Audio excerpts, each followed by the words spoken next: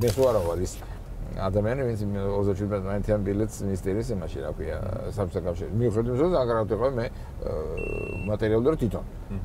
მაგრამ 27 მანეჯერ ვლაპარაკობენ ის ავიცდებათ რომ მეორე 27 რო გადაგიხადე უკანონო ჩამოსულიყავი ხო?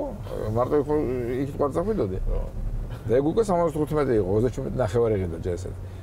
ხო და 75-ს რო იღებდი საშუალო ხელფასი რამდენი იყო ერთი იმაში შეხედეთ მაშინ რა მაშინ ეს კი არისო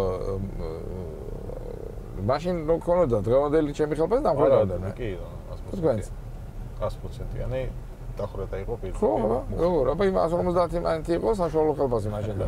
ნახევარი ხელფასი უნდა და ეს ერთ წასვლა მოსვლას და.